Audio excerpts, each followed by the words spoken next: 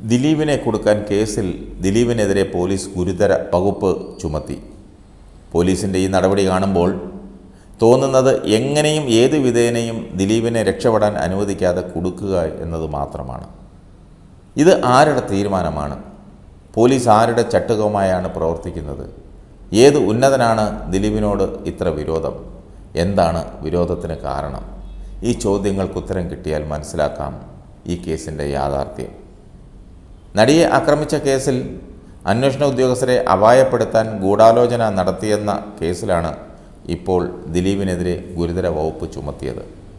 അന്വേഷണ ഉദ്യോഗസ്ഥരെ കൊല്ലാൻ ഗൂഢാലോചന നടത്തിയെന്നാണ് പുതിയ കുറ്റം. ദിലീപിന്റെ മുൻകൂർ ജാമ്യാപേക്ഷയിൽ ഹൈക്കോടതി വിധി പറയാനിരിക്കെയാണ് പുതിയ വകുപ്പ് കൂടി ചേർത്തത്. ദിലീപിനെതിരായ തുടരന്വേഷണ റിപ്പോർട്ട് കഴിഞ്ഞ ദിവസം പ്രോസിക്യൂഷൻ കോടതിയിൽ സമർപ്പിച്ചിരുന്നു. ലൈംഗിക അതിക്രമത്തിന് സംസ്ഥാനത്തെ ആദ്യ കൊട്ടേഷൻ കേസാണെന്നും ആക്രമണത്തിന്റെ സൂത്രധാരകൻ ദിലീപാണെന്നും പ്രോസിക്യൂഷൻ സത്യവാങ്മൂലത്തിൽ പറഞ്ഞിരുന്നു. പക്ഷേ അത് ഉറപ്പിച്ച് പറയത്തക്ക തെളിവുകൾ ആണ് ആവശ്യം. തെളിവില്ലെങ്കിൽ കേസ് തള്ളിപ്പോകും. അങ്ങനെ വരാതിരിക്കാനാണ് പുതിയ വകുപ്പുകൾ കൂടി ചേർത്തത്. അന്വേഷണ ഉദ്യോഗസ്ഥരെ വധിക്കാൻ ഗൂഢാലോചന നടത്തുന്നത് അസാധാരണമാണ്. സംസ്ഥാനത്തിന്റെ ചരിത്രത്തിൽ ആദ്യമാണ് ഒരു സ്ത്രീയെ ആക്രമിക്കാൻ കൊട്ടേഷൻ നൽകുന്നതും സംസ്ഥാനത്ത് ആദ്യമാണ്. നടിയെ ആക്രമിച്ച കേസിലെ മുഖ്യ സൂത്രധാരകനാണ് ദിലീപ്. കേസിന്റെ ഓരോ ഘട്ടത്തിലും അട്ടിമറിക്കാൻ ദിലീപ് ശ്രമം നടത്തിയിരുന്നു. വിചാരണയ്ക്കിടെ ഇരുപത് സാക്ഷികൾ കൂറിമാറിയെന്നുമാണ് പ്രോസിക്യൂഷൻ ചൂണ്ടിക്കാട്ടിയത്.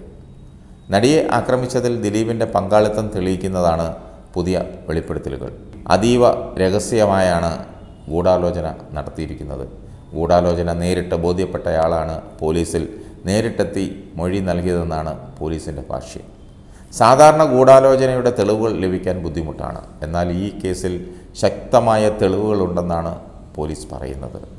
ബാലചന്ദ്രകുമാർ എന്ന വ്യക്തി കൈമാറിയ ഓഡിയോയിലുള്ള ശബ്ദവും പ്രതികളുടെ ശബ്ദ സാമ്പിളുകളും പരിശോധിക്കേണ്ടതുണ്ട്.